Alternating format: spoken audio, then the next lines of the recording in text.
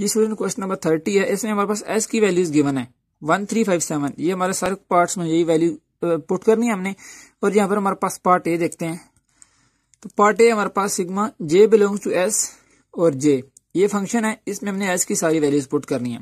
तो देखें simple J है simple one three five seven put करेंगे तो सिक्सटीन हमारे पास आंसर आ जाएगा। पार्ट बी में देखें J belong to S sigma और जे स्केयर अभी हमारे पास देखें हमारे पास फ़ंक्शन क्या है? जे स्केयर इसमें हमने सारी ये वैल्यूज़ जे एस से बिलोंग करता है तो एस की सारी वैल्यू इस फ़ंक्शन में पुट करनी है। तो क्या आ जाएगा? One square plus three square plus five square plus seven square तो टोटल को जमा करेंगे तो forty nine plus one fifty plus twenty five कितना हो गया? सेवेंटी uh, फाइव और प्लस सॉरी देखें फोर्टी नाइन मैं इसको सॉल्व कर लेता हूँ आई थिंक मुझे ये गलत लग रहा है। नहीं बल्कि देखें forty nine plus one fifty plus twenty five कितना होगा? सेवेंटी फाइव और प्लस थ्री का स्केयर एट्टी फोर तो एट्टी फोर ही बनता है। ये पार्ट बी था। पार्ट सी देखें। J belong to S sigma और वन ओवर जे इसमें देखें फ़ंक्शन क्या है? वन ओवर जे अब इसमें हमने एस की सारी वैल्यूज़ पुट करनी है। तो पुट करेंगे तो आ जाएगा one over one plus one over three plus one over five plus one over seven simple इसके एलसीएम ले लेंगे। एलसीएम किस तरह लेते हैं? बच्चों वाली बात है, लेकिन चले बताता हूँ। देखें, क्या नीचे क्या वैल्यूज़ है? नीचे वाली वैल्यू देख के लिख लें। One three five seven one three five seven ठीक है? तो इसको हम थ्री से करेंगे तो क्या आ जाएगा? वन थ्री वन जार थ्री और फाइव और सेवन एज इट इज़ आ जाएँगे।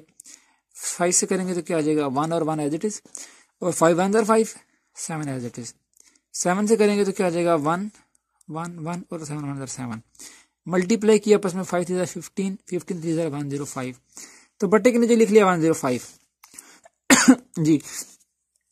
अब वन के नीचे क्या one one zero five divide by one क्या होता है? वन ज़ीरो फाइव ही होता है। इसकी जगह हमने लिख लिया वन ज़ीरो फाइव। प्लस इस वन को हम मल्टीप्लाई करेंगे। इसके नीचे क्या है? थ्री वन ज़ीरो फाइव को थ्री से डिवाइड करेंगे तो क्या बनता है? थर्टी फाइव थर्टी वन को वन से मल्टीप्लाई करेंगे तो थर्टी फाइव आ जाएगा। इस तरह प्लस अगर दूसरे इस मेथड समझ नहीं आ रही, दूसरा मेथड देख लें। इसके नीचे क्या है? वन।